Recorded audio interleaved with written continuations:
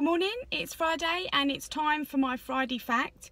This is probably a really well known Friday fact actually, but did you know a mouse can fit through the size of a Bic pen?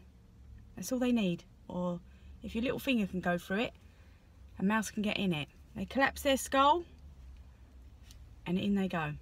That's it.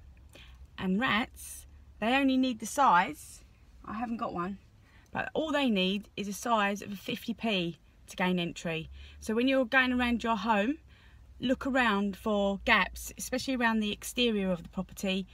Get yourself a Bic pen. If a pen can go through it, seal it up. Prevention is better than cure. Have a great day.